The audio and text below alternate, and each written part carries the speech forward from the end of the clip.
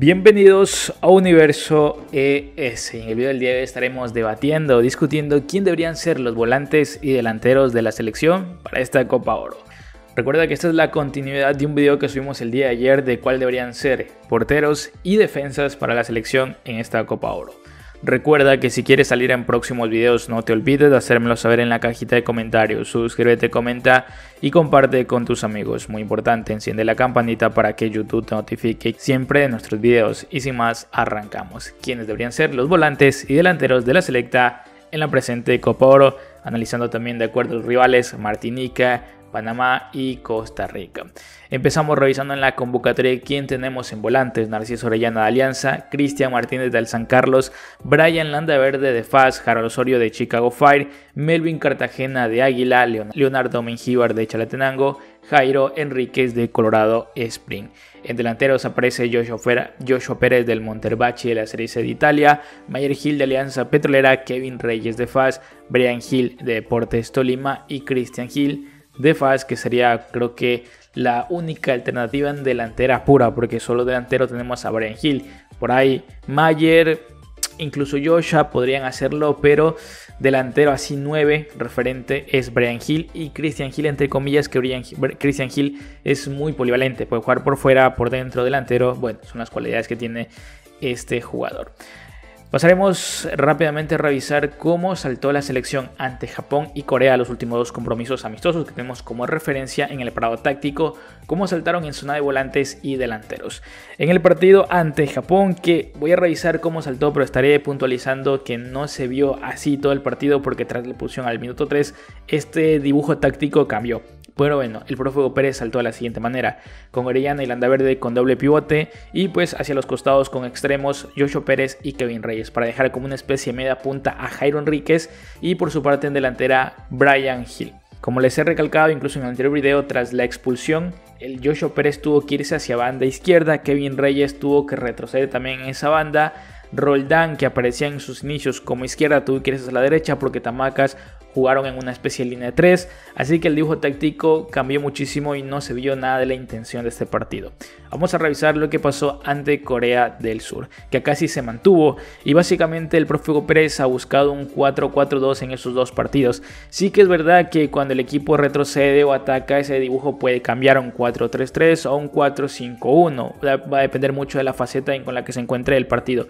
Pero para tema didáctico y para que se haga mucho más rápido y poderlo yo posicionar, voy a hacer una especie de 4-4-2 o 4-3-3 como ustedes básicamente quieren ver, pero el único que va a modificar ese dibujo va a ser Harold Osorio. Si está más al ataque o más a la defensiva, pues puede formar una especie de tribote en, volantes o a su vez eh, ser uno más en ataque junto a, a Brian Hill. Ya les básicamente les adelanté cuáles son los mejores que va a ser titulares en esta zona de volante. En el partido ante Corea saltó de la siguiente manera, con Mengíbar por izquierda, Reyes por derecha, Cristian Martínez y Narciso Orellana como doble pivote para dejar más adelantado como una especie de tribote o a su vez como media punta acompañando al delantero Harold Osorio y en punta Brian Hill fue como saltó en este partido ante Corea del Sur que empatamos. También está dejando unas gráficas de los primeros minutos y luego el segundo tiempo cómo modificó un poquito el parado táctico y también los nombres que modificaron. Acá está dejando la gráfica para que se vaya entendiendo que por ejemplo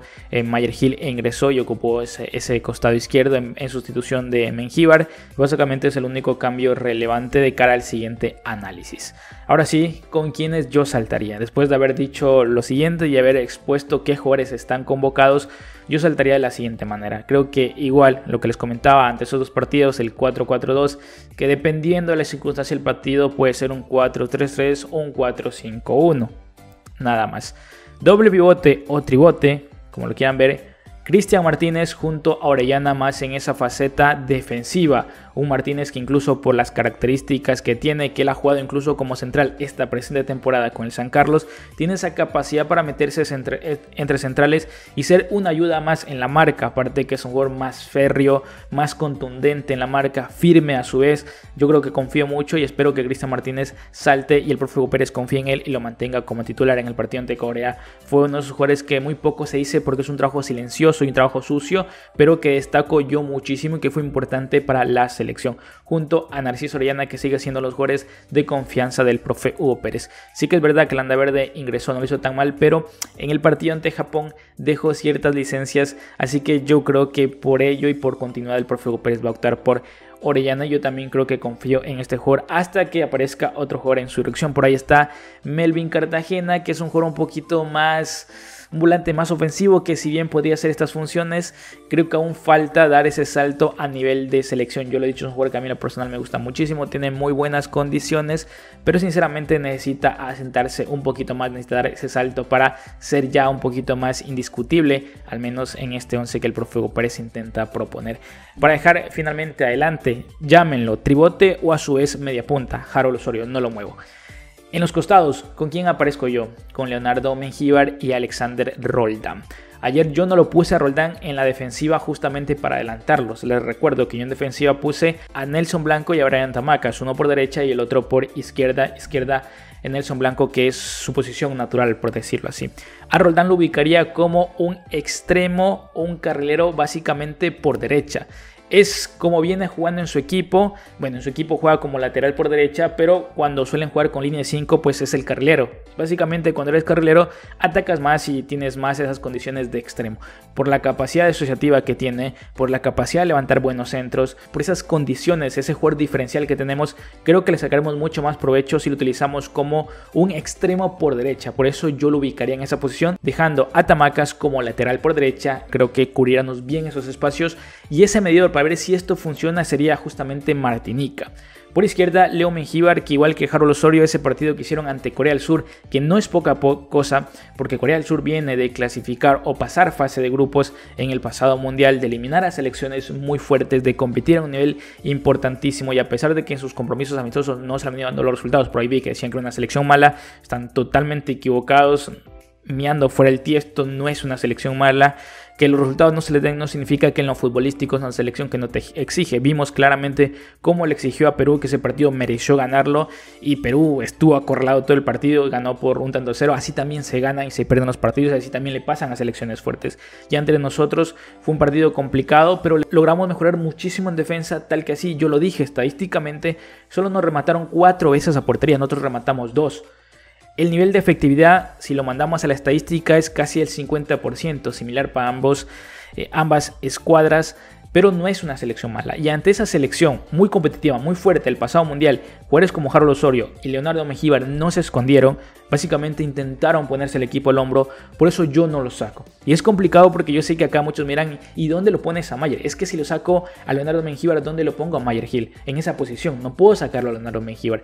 Creo que Mayer Hill más adelante va a tener que también, así que igual que Leo, buscarse y ganar esa posición. ¿Puede jugar por derecha? Sí. ¿Puede jugar como media punta en vez de Harold Osorio? Sí. Creo que la polivalencia Mayer Hill tarde o temprano hará que el jugador termine encajando en este 11. Hoy por hoy creo que nos va a servir mucho más a la alternativa. Y por supuesto, así como él también lo dejo fuera, a Jairo Enríquez, a Joshua Pérez y a Mayer Hill. Jugadores que yo creo que siguen siendo importantísimos. Y si saltan tampoco discutiría mucho porque son jugadores que claramente han venido siendo parte del 11 titular. En el caso de Jairo, por ahí Joshua recientemente. Y Mayer que por su capacidad podría hacerlo, tiene mucho gol.